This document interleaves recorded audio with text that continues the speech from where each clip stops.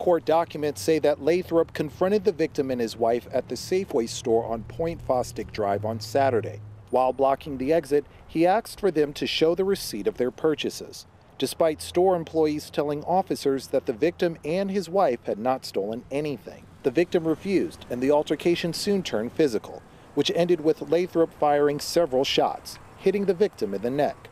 In court, prosecuting attorneys allege that this isn't the first time Lathrop has shot someone, pointing to an incident from April of 2021. Commissioner Craig Adams set bail at $100,000, stating that Lathrop's behavior could put others at risk. That could have been me, my wife, a child, or anyone else, just because of the assumptions that Mr. Lathrop may have made.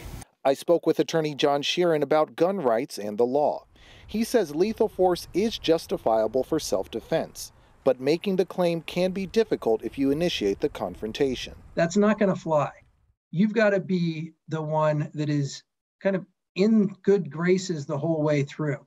Um, if you want to, if you have to confront somebody or you want to confront somebody that you think is committing a crime, you can do that, but you can't be the one that escalates it to the point that deadly force becomes the option that you go to.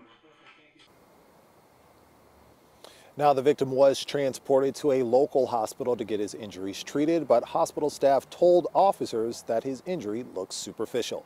But for now, we're live in front of the Pierce County Courthouse. Lionel Donovan, King 5 News.